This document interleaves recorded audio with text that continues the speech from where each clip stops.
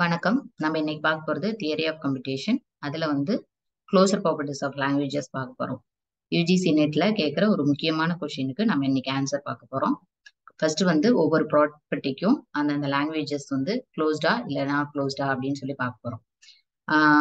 இப்போ வந்து இதெல்லாம் இந்த ஹரிசாண்டல் லைன்ல இருக்கிறதெல்லாம் வந்து லாங்குவேஜஸ் ஃபர்ஸ்ட் இருக்கிறது வந்து ரெகுலர் லாங்குவேஜ் ரெண்டாவது இருக்கிறது வந்து கான்டாக்ட் ஃப்ரீ லாங்குவேஜ் மூணாவது இருக்கிறது டிட்டர்மனிஸ்டிக் கான்டாக்ட் ஃப்ரீ லாங்குவேஜ் அடுத்தது கான்டாக்ட் சென்சிட்டிவ் லாங்குவேஜ் அடுத்தது ரிகர்சிவ் லாங்குவேஜ் அடுத்தது வந்து ரிகர்சிவ் என்யூமரபிள் லாங்குவேஜ் நான் இங்க கீழே கொடுத்துருக்கேன். சிஎஃப்எல் அப்படின்னா கான்டாக்ட் ஃப்ரீ லாங்குவேஜ் அதை வந்து நம்ம நான் டிட்டர்மினிஸ்டிக் கான்டாக்ட் ஃப்ரீ லாங்குவேஜ்னு சொல்லலாம். டிசிஎஃப்எல் அப்படின்னா deterministic context free language CSL அப்படின்னா கான்டாக்ட் சென்சிட்டிவ் லாங்குவேஜ் ஆர்இ அப்படின்னா ரெக்கர்சிவ் எனிமரபிள் லாங்குவேஜ் இப்போ இந்த வேர்டிக்கல்ல இருக்கிறதெல்லாம் வந்து ப்ராப்பர்ட்டிஸ் இந்த ப்ராப்பர்ட்டிஸ் ஃபர்ஸ்ட் நம்ம பார்த்துருவோம். Union intersection set difference complementation intersection with regular language concatenation Kleene closure Kleene plus reversal homomorphism epsilon free homomorphism inverse homomorphism substitution epsilon free substitution right quotient with a regular language, left quotient with a regular language. இந்த டேப்லர் காலம் படிச்சிட்டீங்க அப்படின்னா நெட்ல கண்டிப்பா ஒரு question வந்து நீங்க attend பண்ண முடியும். ஆன்சர் வந்து கரெக்டா போட முடியும். இதெல்லாம் வந்து ப்ராப்பர்ட்டிஸ் இந்த ப்ராப்பர்ட்டிஸ் வந்து நீங்க கட்டாயம் வந்து மனப்பாடம் பண்ணி தான் ஆகணும். வேற வழியே கிடையாது. இப்போ வந்து இந்த ப்ராப்பர்ட்டிஸ்க்கு அந்தந்த லாங்குவேஜஸ் வந்து க்ளோஸ்டா இல்லையா அப்படின்னு சொல்லி நம்ம பார்க்க போறோம். இப்ப ரெகுலர் லாங்குவேஜ் பாத்தீங்க அப்படின்னா எல்லா ப்ராப்பர்ட்டிஸ்க்கும் வந்து க்ளோஸ்டு தான். எஸ் எஸ் எஸ் அப்படின்னு சொல்லி வந்திருக்கு இல்லையா? எல்லா ப்ராப்பர்ட்டிஸ்க்கும் இது வந்து க்ளோஸ்டு தான். அடுத்தது context free language context free language வந்து இதுக்கு நான் இது எல்லாமே வந்து நான் எப்படி ஷார்ட்கட் படிச்சேன் அப்படிங்கிறத ஷார்ட்கட் வச்சு படிச்சேன் அப்படிங்கிறத நான் உங்களுக்கு சொல்றேன். நீங்க உங்களுக்கு கன்வீனியன்ட்டா இருக்கிற மாதிரி பாத்துக்கோங்க. ஃபர்ஸ்ட் அதாவது கான்டெக்ட் ஃப்ரீ லாங்குவேஜ்க்கு நான் எப்படி படிச்சேன் அப்படின்னா கான்டெக்ட் சிஎஸ்ஐ சிஎஸ்ஐ சர்ச் வந்து நாங்க சொல்லுவோம். ஸோ சிஎஸ்ஐ அப்படின்னு ஞாபகம் வச்சுட்டேன். சிஎஸ்ஐ இந்த ஃபர்ஸ்ட் மூணுக்கு அந்த சிஎஸ்ஐக்கு மட்டும் நோ நோ வரும். மற்றது எல்லாமே வந்து எஸ் வரும். அதாவது இது மூணுக்கு மட்டும் நாட் க்ளோஸ்டு மற்றது எல்லாம் வந்து க்ளோஸ்டு அடுத்தது டிட்டர்மனிஸ்டிக் கான்டெக்ட் ஃப்ரீ லாங்குவேஜ் வந்து இங்க சிஎஸ்ஐ பார்த்தோமா? அடுத்தது இதுல ஒன்னு விட்டுட்டு மேல மூணுக்கு நோ நோ போட்டுக்கணும். அதாவது இந்த கான்டெக்ட் ஃப்ரீ லாங்குவேஜ்ல சிஎஸ்ஐ பார்த்தோம்.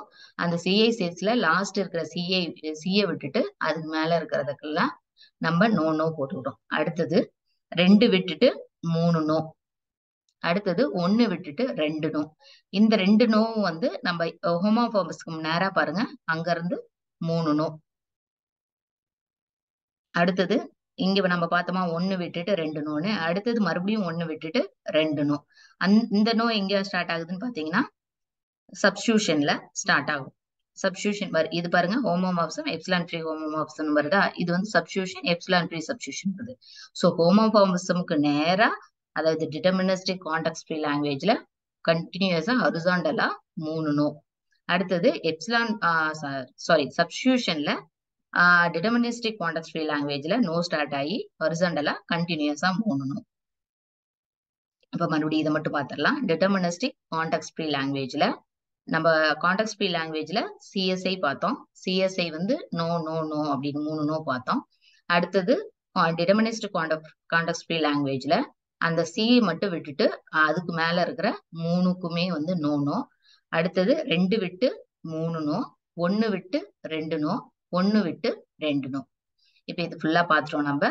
அடுத்தது சிஎஸ்எல் இது வந்து நம்ம முன்னாடி காலம் படிச்சவே படிச்சோம். என்ன படிச்சோம்? ஹோமோபாபசமுக்கு நேரா மூணு நோ கண்டினியூஸா வரும்னு.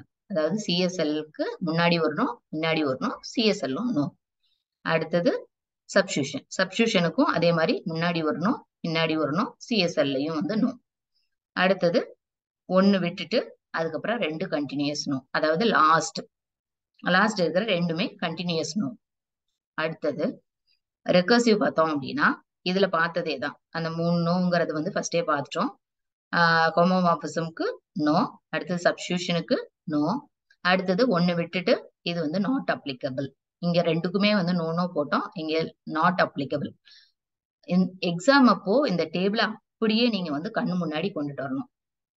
அப்பதான் வந்து உங்களுக்கு ஈஸியா டக்குன்னு போட முடியும்.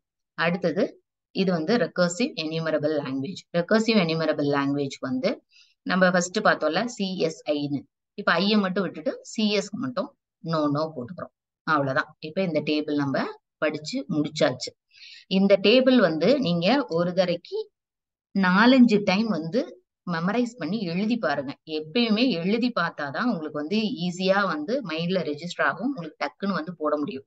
நம்ம வந்து திரும்ப திரும்ப ஒரு விஷயத்த பார்த்துக்கிட்டே இருந்தா போதாது. திரும்ப திரும்ப வந்து அது எழுதி பாக்குறப்பதான் நம்ம வந்து எக்ஸாம் வந்து ஈஸியா அட்டன் பண்ண முடியும். எழுதி பாருங்க.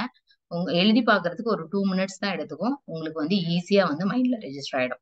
ஈவன் எக்ஸாமுக்கு போறதுக்கு முன்னாடி கூட ஒரு ஃபைவ் சிக்ஸ் டைம்ஸ் எழுதி பாருங்க. உங்களுக்கு ஈஸியா வந்து ஞாபகத்துல வந்துடும் கண்டிப்பா ஒரு கொஷின் வந்து உங்களால அடிச்சிட முடியும். இப்போ வந்து நம்ம கொஸ்டினுக்கு வருவோம். கொஷின் இது வந்து இந்த டூ தௌசண்ட் டுவெண்ட்டி டூல கேட்ட அக்டோபர் மந்த் நடந்த எக்ஸாம்ல கேட்ட question question ID thirty three ninety seven consider the following statements about context free language இதுல வந்து இது நம்ம கான்டெக்ட் ஃப்ரீ லாங்குவேஜ் பார்த்தோம்? Context free language CFL CFL okay அப்ப இந்த காலத்தை நம்ம கன்சிடர் பண்ணணும். First statement statement one CFL is close under homomorphism அப்போ நம்ம இந்த ஹோமோமார்பிசம் எங்க இருக்குன்னு பார்க்கணும். எங்க இருக்கு? ஹோமோமார்பிசம் எங்க இருக்கு? அதுக்கு நேரா எஸ் இருக்கு. அப்போ இது வந்து ட்ரூ க்ளோஸ்ட் எஸ் அப்படின்னா closed CFL is closed under homomorphism அப்போ நமக்கு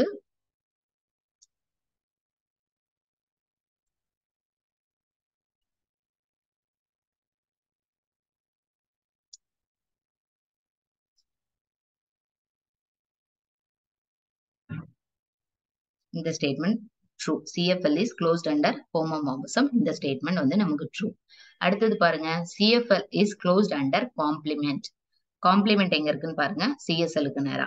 அதாவது சிஎஸ்எல் காம்ப்ளிமெண்டேஷன் இங்க வந்து நோ வந்திருக்கு. சோ இது வந்து ஃபால்ஸ் செகண்ட் ஸ்டேட்மெண்ட் வந்து நமக்கு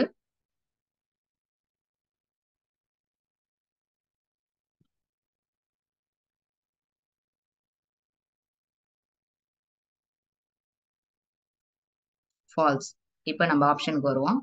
Statement one is true and statement two is false கரெக்டா ஆமா correct CFL is closed under homomorphism true CFL is closed under complement false அப்போ நமக்கு ஃபர்ஸ்ட் ஆப்ஷன் தான்.